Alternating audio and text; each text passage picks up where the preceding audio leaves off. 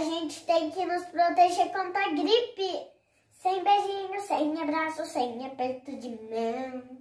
Não é desprezo, é apenas proteção. Sem beijinho, sem abraço, sem aperto de mão.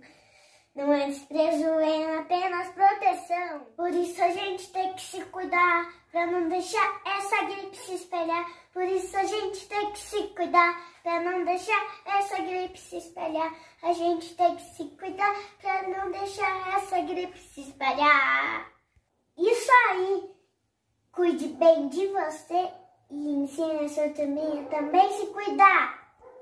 Sem beijinho, sem abraço, sem aperto de mão. Não é desprezo, é apenas proteção. Sem beijinho, sem abraço, sem aperto de mão.